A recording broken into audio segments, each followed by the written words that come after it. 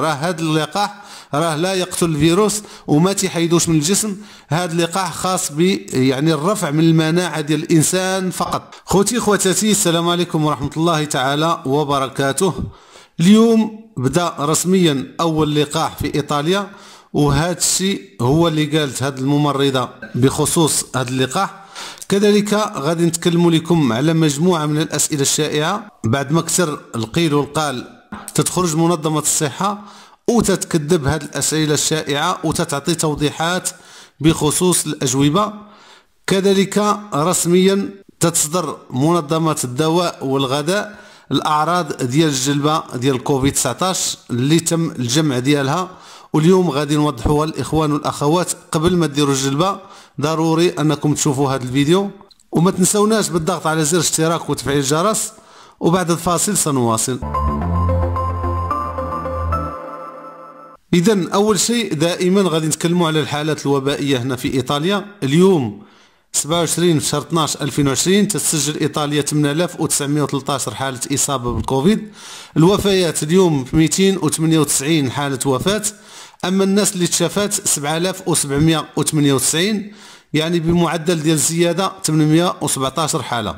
بالنسبة للوظائف الناس اللي بغاو يخدموا راه كاينة وزارة العدل تتعلن على أساس أنها بغات تخدم 142 تقني في مجموعة من المجالات سواء تقني في ال électronique ولا تقني ميكانيك وكذلك تقني فلاحي.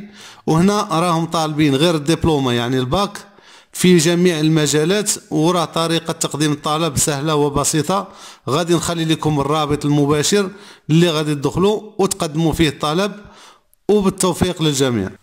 اذا بالنسبة للقاح أول لقاح رسمي هنا في إيطاليا داروه اليوم 27 شهر 12 2020 شكون الممرضه سميتها كلاوديا وهي يعني تتصرح قالت لهم بأن اليوم راه يوم تاريخي وأن هذه السيدة راه دخلت التاريخ بعد ما تم إجراء الجلبه عليها وتم الإجراء الجلبه على أربعة ديال الممرضين آخرين.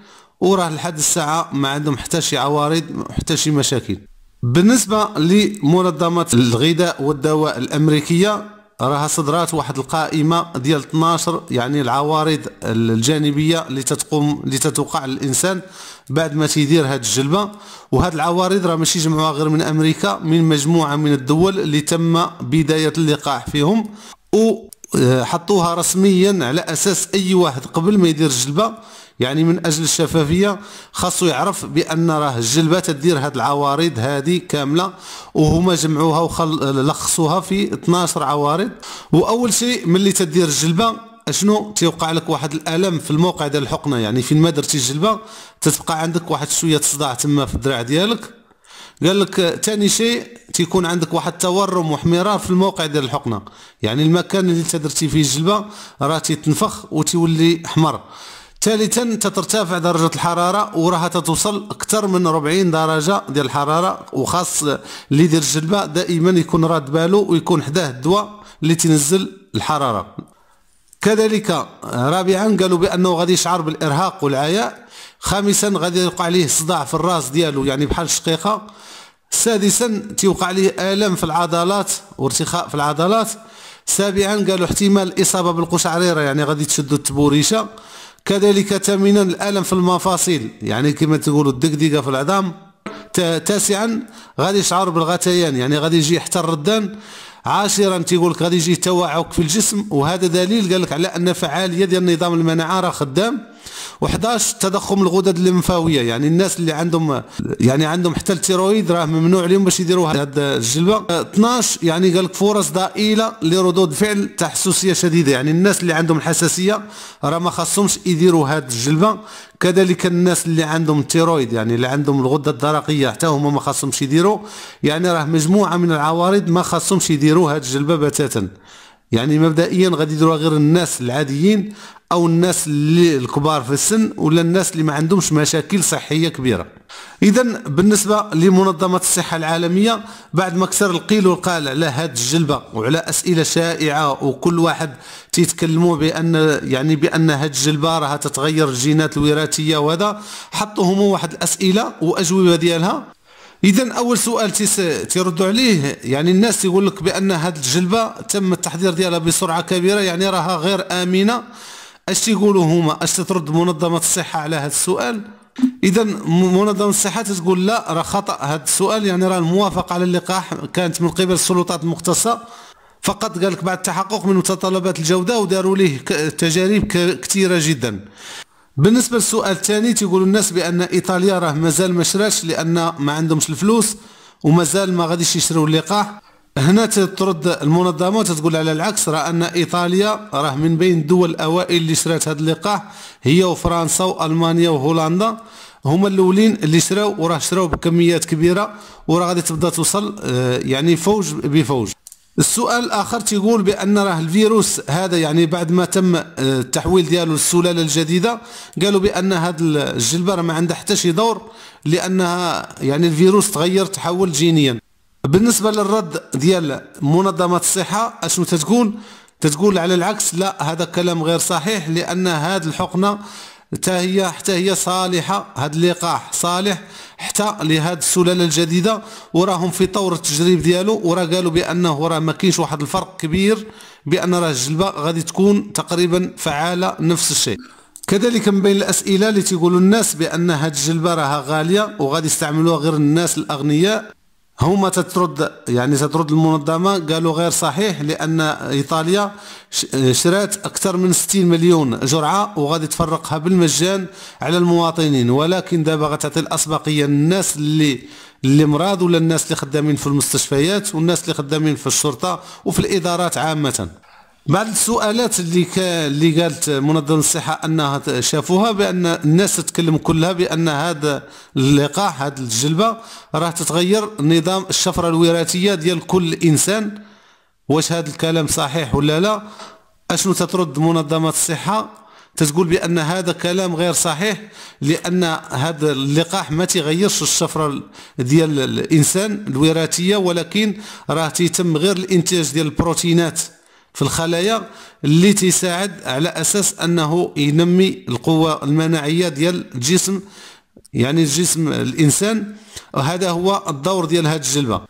قالوا ثاني بأن سؤال آخر قالوا بأن الجلبة هذه يعني مادام تدوم غير بضعة أسابيع يعني ما عندها حتى شي ما عندها حتى شي هدف يعني عديمة الفائدة. ما غاديش تفيد الناس اللي غادي يجلبوها ومن بعد جوج أسابيع ولا ثلاثة وتنتهي الصلاحية ديالها.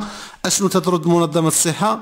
تتقول هذا الكلام غير صحيح لأن هذه الجلبة راه عندها القابلية لشهور ماشي لأسابيع ولكن مازال ما تبتاتش واش أنها غادي تكمل العام ولا غتبقى جلبة دائمة. يعني ما تحتاج تجلب مرة أخرى بحكم أنه غادي يجربوها في الناس ويتسناو. يعني هذا الشيء تنتكلموا خاصهم يتسناو واحد السنة باش يشوفوا الأعراض ديالها. يعني راه الأمور مازال طويلة. سؤال آخر تيقولوا بأن راه هذا يعني هذا اللقاح لا يقتل الفيروس ولا يوق... آه، وما تيوقفش حتى الوباء. يعني الناس ولو إلا كان في كورونا ودرتي الجلبه راه غادي تبقى في كورونا. اذا اشنو تترد منظمة الصحة؟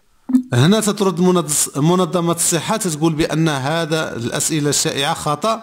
علاش؟ لأن الغرض من هذا اللقاح هو تنشيط نظام الدفاع في الجسم ديال الإنسان. يعني ماشي غادي يقتل الفيروس هو راه غير تنشط يعني تزيد المناعة ديال الإنسان فقط.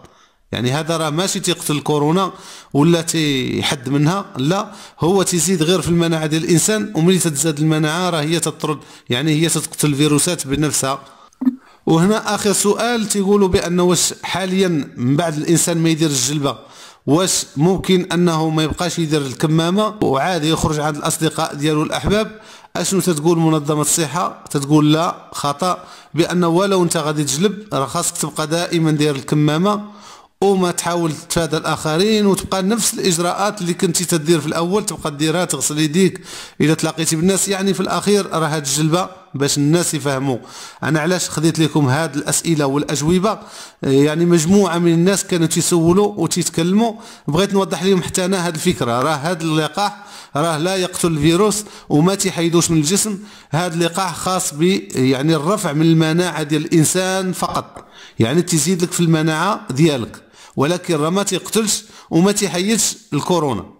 هذه هو علاش أنا كاع المغزى من هذا يعني هذا الفيديو كامل باش نوصلوا للناس هذه الفكرة الخاطئة اللي كان مجموعة من الإخوان تيقول لك صافي ملي غادي ندير هذه الجلبة راه غادي نقتل كورونا وصافي غادي نتهناو لا يا أخي ما غاديش تهنى.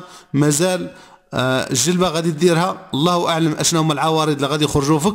ولكن راه ما غاديش تقتل الفيروس ولكن غادي تزيد لك في المناعة اللي قالوا. غادي تزيد لك في المناعة ديال الجسم.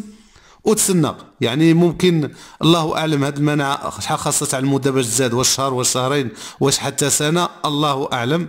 وفي الأخير ما تنسوناش بالضغط على زر اشتراك وتفعيل الجرس وتبارطاجي الفيديو مع الإخوان والأخوات ديالك. وإلا عجبك الفيديو اضغط لايك والسلام عليكم ورحمة الله تعالى وبركاته.